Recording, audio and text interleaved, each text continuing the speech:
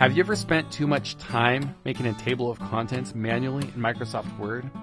Then later wanted to make changes to your document to find out that many items in your table of contents also need to be changed? Well, there's a faster and more accurate way. We're going to learn how to automatically create a table of contents and update it quick. This document may look familiar from a previous quick tip. We have a title page, an area for a table of contents, and some text.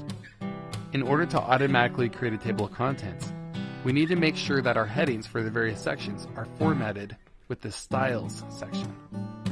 Do this by putting your cursor on one of the headings, and then go to the Home tab under the Styles section and click Heading 1. You can do this for the next heading as well.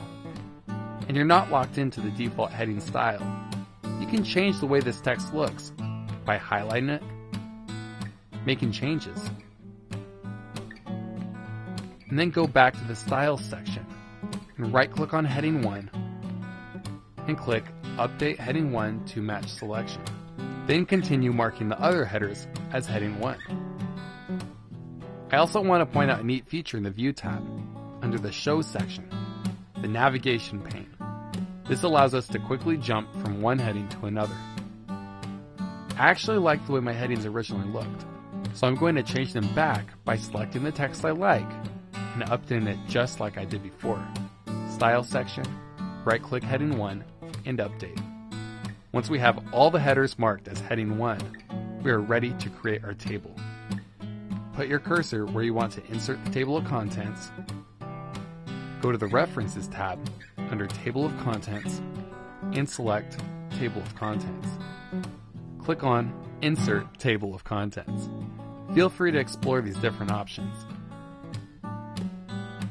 We're pretty much only paying attention to the way that heading 1 looks here, since we're not using any other headings. If you like the way it looks, click OK. And there we have it.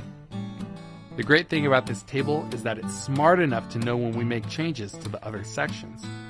For example, if I wanted to change one of the titles of a heading, and I wanted to move it to the next page with a page break, Control Enter, we need the table to recognize these changes. Well, it does. Scroll back up to the table of contents, right click it, and select Update Field. And check Update the entire table. Click OK. Any changes that we made are automatically updated. Now you know how to create an automatic table of contents and update it in Microsoft Word.